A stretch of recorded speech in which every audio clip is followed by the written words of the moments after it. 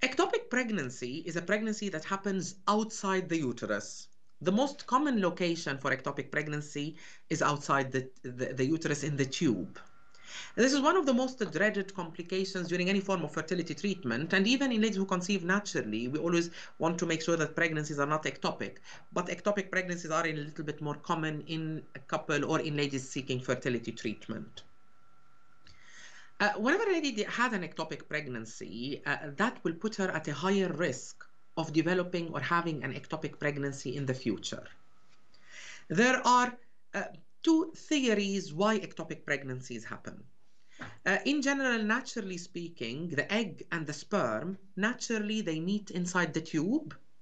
They form an embryo inside the tube, and the tube will it has some cilia that will push the embryo down inside the uterus to allow the embryo to implant inside the uterus. There's a theory that says that abnormal but tubes are not pipes. So there's a theory saying that uh, the tube that is open does not mean that the tube is functioning properly. And that's why the embryo might, implant might sit in the tube and the tube might not be pushing it normally inside the uterus. Unfortunately, when it happens once, that means most probably there's an intrinsic problem inside the tube, and that's why the risk of it happening again is quite high. Sometimes the, the, the tube might be damaged by an ectopic pregnancy, and that's why it, it decreases the likelihood of ladies conceiving naturally on their own in the future, because logically speaking, we have two tubes, ladies are ovulating most of the time, but not necessarily alternating from right left ovary.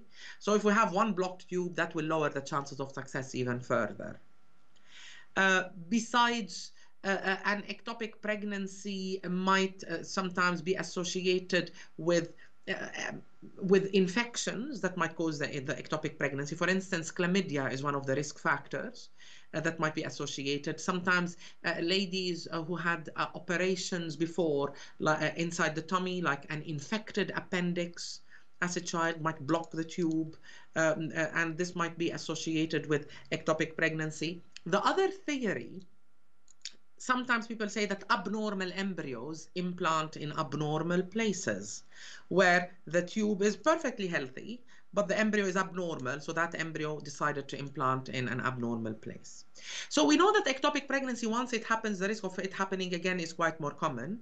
It is also described in medical literature. There are some few cases that ectopic preg- there are some families that are at a higher risk of having ectopic pregnancies yet there's no specific gene. I have to say this is the vast minority of cases. Uh, so most of the time ectopic pregnancy happens because of a problem in the tube rather than being a genetic cause although it has been reported in the medical literature that some cases have a genetic predisposition